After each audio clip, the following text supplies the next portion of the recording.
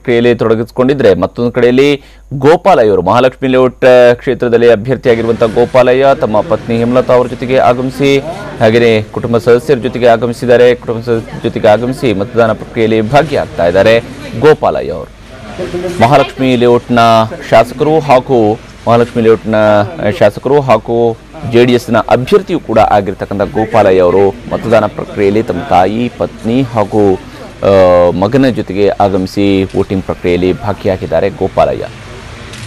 ಇನ್ನು ಕೋಲಾರದಲ್ಲಿ ಶ್ರೀನಿವಾಸ್ ಗೌಡ ಅವರು ಮತದಾನ ಪ್ರಕ್ರಿಯೆಯಲ್ಲಿ ಭಾಗಿಯಾಗಿದ್ದಾರೆ.